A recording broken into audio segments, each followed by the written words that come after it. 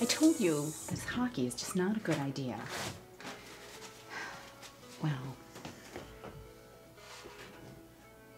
Oh, so that's gonna be sore for a few days, uh, but it should get better by the end of the week. Let us know if it doesn't, okay?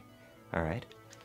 Now, uh, I see that you turned 12, so since you're here, this would be a great time for those vaccines which are recommended at this age, which are uh, HPV, Tdap, meningococcal. Are there any questions about that? yeah, the HPV, that seems like something that could wait until she's a little older, don't you think?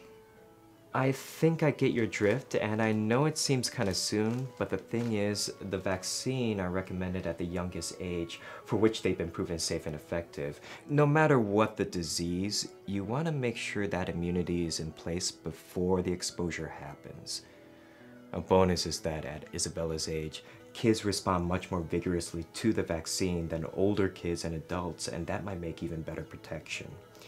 It's also convenient because, well, there are two other vaccines due at the same age, and, uh, well, those two and the first dose of HPV can all be given at the same appointment.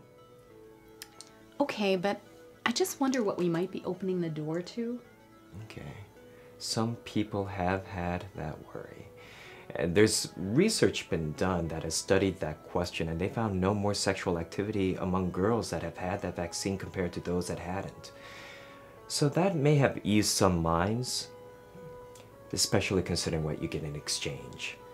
I think it's pretty amazing that there's a safe and effective way of preventing cancer. I'd feel a lot better if we got her protected today.